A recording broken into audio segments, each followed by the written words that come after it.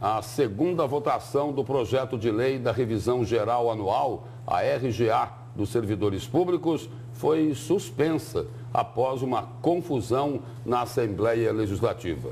A repórter Luciana Gavilha traz as informações.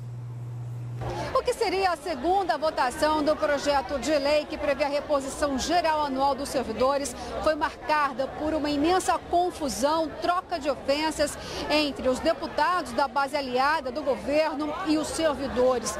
O deputado Gilmar Fabres foi o que mais inflamou a discussão, dizendo que os servidores não merecem nenhum emprego que têm e também os chamou de desordeiros.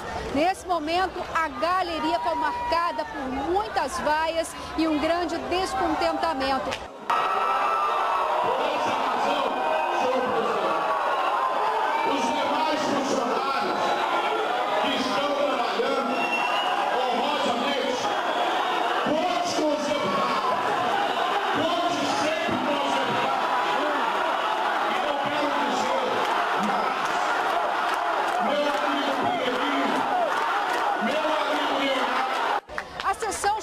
Ser suspensa por várias vezes, justamente para tentar restabelecer a ordem.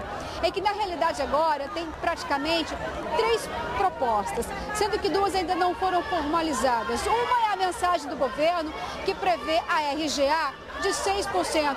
Acontece que a base aliada apresentou uma nova proposta de 7,36%, que não agradou os servidores, porque não prevê retroatividade e nem a integralidade dos 11,28%. O que os servidores querem mesmo é que seja apresentada aqui no plenário o projeto substitutivo do deputado Zeca Viana.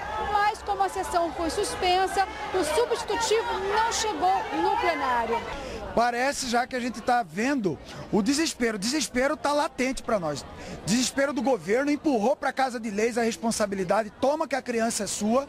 Chegou aqui na Casa de Leis ontem numa reunião, já mostrando bom, boa vontade sempre do Fórum Sindical em estar tá reunindo e estar tá absorvendo a proposta do governo.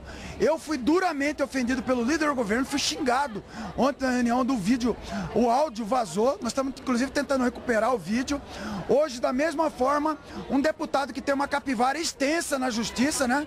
Vinha ofender trabalhador, pai de família que está aqui lutando por um direito constitucional previsto nas leis orçamentárias que os próprios deputados aprovaram e não querem cumprir. Ou seja, o governo está na ilegalidade, a Casa de Leis está na ilegalidade. Foi uma completa apelação, uma sujeira total um deputado vir fazer isso com um trabalhador. Isso é inaceitável e toda ação tem uma reação. Diante dos desentendimentos, o presidente da Casa, Guilherme Maluf, voltou ao plenário apenas para encerrar a sessão. Disse que vai novamente dialogar com os deputados e com o fórum sindical. E a sessão vai retornar às 5 horas da tarde. Luciana Gavilha para o Jornal do Meio Dia. E o que todos esperam é que seja feito um acordo para encerrar essa polêmica. Mas não será com gestos obscenos, com xingamentos ou palavrões que vão construir o entendimento para esse impasse da greve dos servidores em função do reajuste salarial.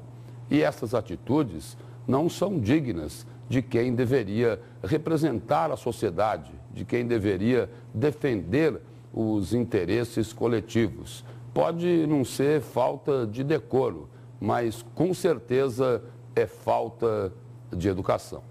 Também não contribui em nada para buscar uma solução quando um líder empresarial sugere que o governo não deveria conceder nenhum centavo de reajuste ao funcionalismo.